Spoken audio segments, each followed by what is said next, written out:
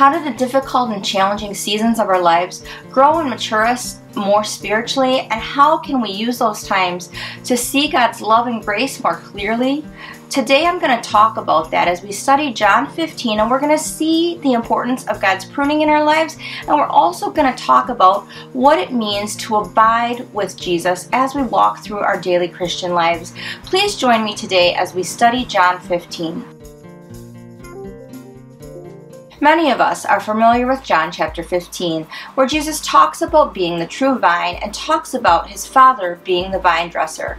In John 15, verse 2, it says this Every branch in me that does not bear fruit, he takes away, and every branch that does bear fruit, he prunes, that it may bear more fruit.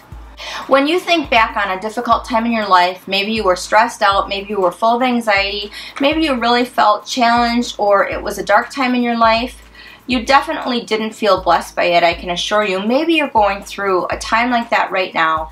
In all honesty, this is probably a really good time for me to talk about this as a good reminder to myself because I've been going through a challenging time recently as I've experienced multiple different health challenges that have left me feeling anxious, stressed out, frustrated, and like I'm really navigating somewhat of the unknown as I'm going forward and trying to find some answers and get some relief from some of the challenges that I've been having.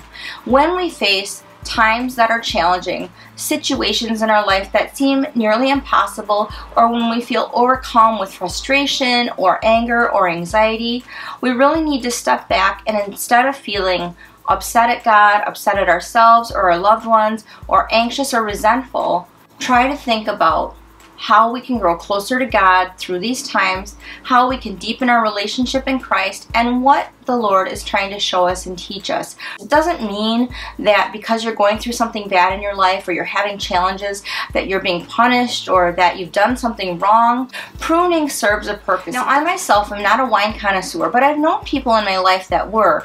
And when these people have a good glass of wine, they can really appreciate the depth and complexity of the flavor of the wine. And sometimes they even ask what grapes they were, what vineyard they came from, what area of the country they're from. And if they're an avid wine connoisseur, sometimes they even know the answer to some of these questions. The interesting thing about growing grapes is that the pruning process is incredibly important to make sure that your vines can produce the optimum amount of grapes and to make sure that the grapes reach their full maturity and they have the sweetest flavor and taste possible. And in order to do that, you have to make sure that you're pruning the grapes regularly. If the grapes do not get pruned, the vines will become overgrown with foliage and they will look full, but instead of being full of fruit, they'll just be full of leaves and foliage that will basically do nothing and eventually the vine that the grapes are growing on won't produce grapes anymore at all. Even though initially it may look like they're cutting things off and they might be removing more foliage than necessary, it actually in the end produces a fuller, more abundant grapevine than if they don't prune at all. So it's incredibly important and I think the same is really true in our Christian lives. No matter what your hardships might be, whether they be medical issues like I'm dealing with, whether they be financial issues, family issues, marital issues, issues at your job, whatever the case, God knows what those issues are and He's not trying to punish you. He's not trying to harm you. These are things in our life that happen just because we simply live in a sinful world, but they can help us grow closer to the Lord. And with every painful experience that we go through in life, there is a lesson that can be learned and there is maturing that can happen spiritually as we navigate that difficult time if we abide with Christ. And that is really the key. John 15 talks about how important it is to abide in Christ. And I have to say, I could not navigate the difficult and challenging seasons of my life without abiding in Christ. And I'm sure a lot of you would feel the exact same way as me and would say the same thing. J.C. Ryle was an evangelist and preacher in the 1800s, and his definition of abiding in Christ, I really think, says it best. This is how J.C. Ryle describes abiding in Christ. To abide in Christ means to keep up a habit of close,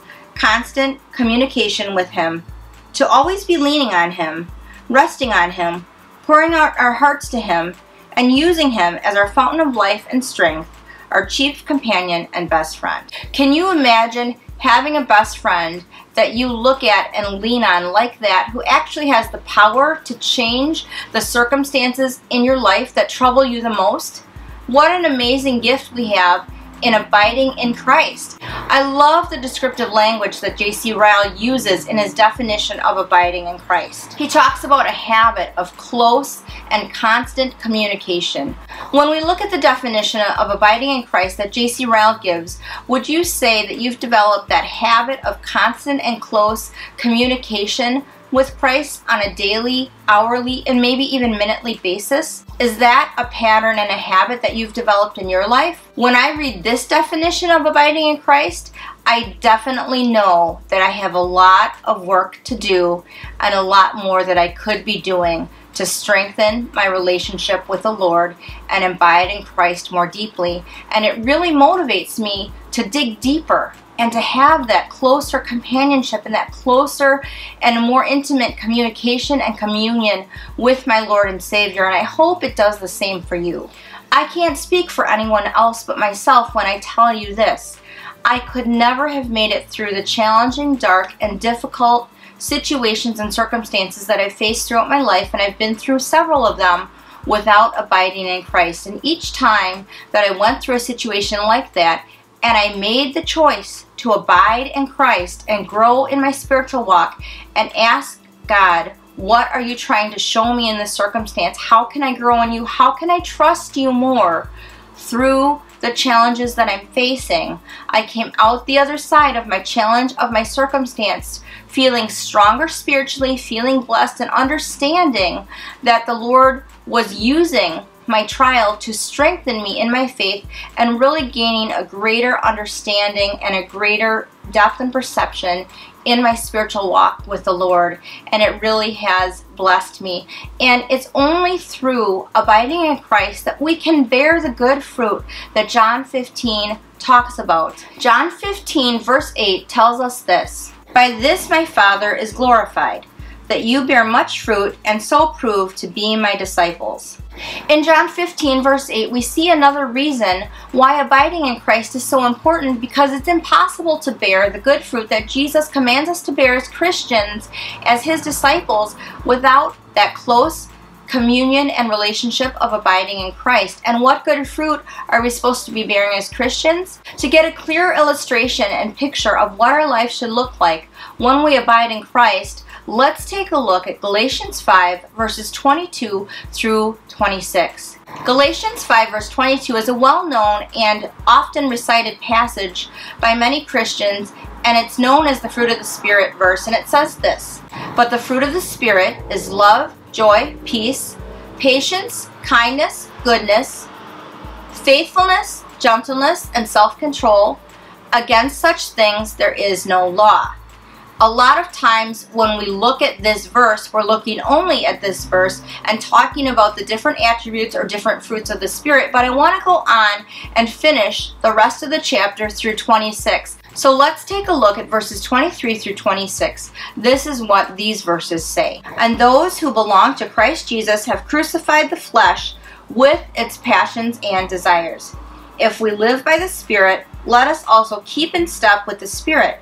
Let us not become conceited, provoking one another, envying one another. Now, the reason I think verses 23 through 26 in Galatians 5 are important when we're talking about the type of fruit that our life should bear and what should be evident in our lives when we abide with Christ is because it talks about certain attitudes and also a willingness to put aside our own desires and our own fleshly passions in order to really bear witness to Christ and in order to put others ahead of ourselves. It talks about us not being selfish and not being conceited, but really having an attitude of humility and really having an attitude where we want to show others that we abide in Christ. My prayer for you today is that as you mature and grow in your faith, you continue to develop the habit of abiding in Christ as you seek to nurture that close communication and continual relationship with Jesus, and you look to Him as your very best friend and your closest companion, because only then can we find the true joy that only Jesus can bring.